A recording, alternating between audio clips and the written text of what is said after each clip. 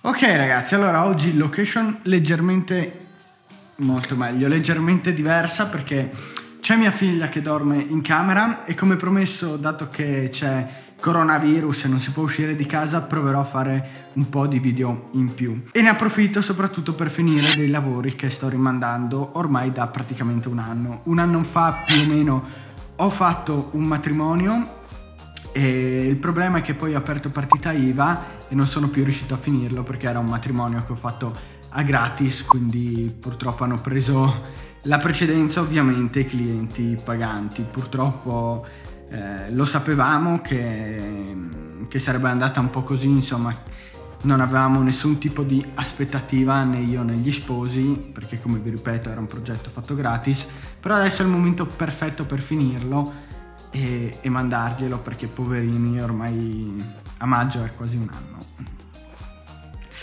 Ok, quindi adesso vi farò un timelapse pazzesco di, di, me che lavoro e poi parleremo del perché, eh, non dico fondamentale, ma è molto utile utilizzare monitor per editare foto, video, la lavastoviglie. E quindi poi vi mostrerò il mio monitor e vi dirò perché secondo me è un ottimo monitor.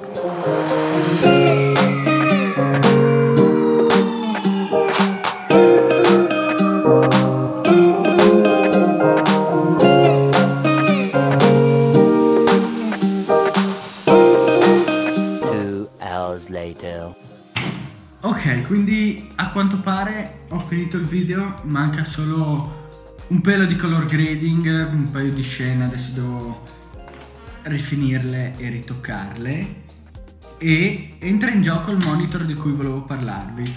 Adesso vi spiego un po' tutto quanto. Allora ragazzi, BenQ PD 2700U 4K, questo è il mio monitor. Poco tempo fa uno di voi mi ha chiesto di parlare del monitor ed eccoci qua. Allora, perché uso un monitor? Per due motivi. Il primo è la comodità, perché questo è un 27 pollici, il mio Mac è un 15 pollici e quindi potete capire da voi che è molto più comodo editare su uno schermo grande. Uno, perché hai tutto più grande, due, perché è molto più facile trovare le cose senza dover stare a spulciare. Oddio, dov'è questa cosa, dov'è quell'altra cosa? Quindi ci siamo capiti.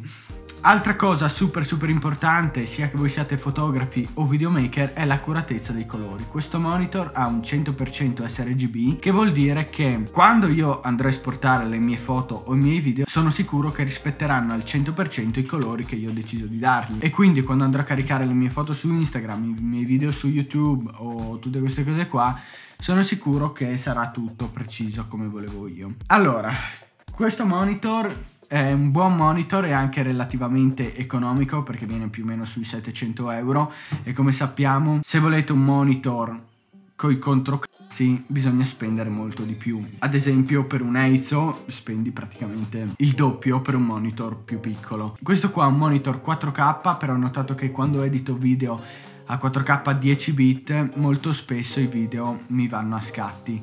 Non so se sia dovuto a qualche impostazione strana o perché il computer non riesce a starci dietro mi, mi sembra un po' impossibile però boh spero sia una questione di monitor. Ma devo dire che mi trovo super bene adesso vi faccio vedere un po' com'è l'interfaccia. Allora come potete vedere qua sto editando il matrimonio e questo quanto è grande il monitor. Insomma, come potete capire da voi lì ho tutte le mie clip che posso facilmente trovare, capire che clip mi serve, dov'è, eccetera, eccetera.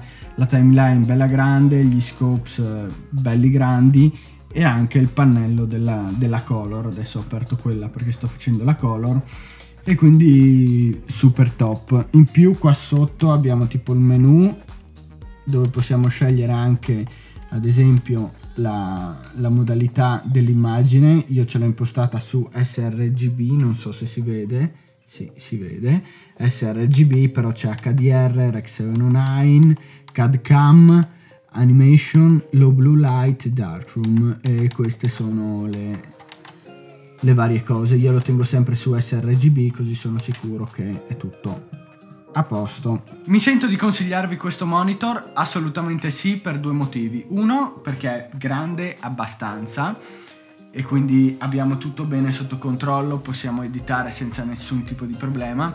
Secondo motivo per l'accuratezza dei colori. Ho notato che questo monitor qua da quando lo uso i miei video sono migliorati di 10 volte perché è molto molto più facile fare color correction e color grading.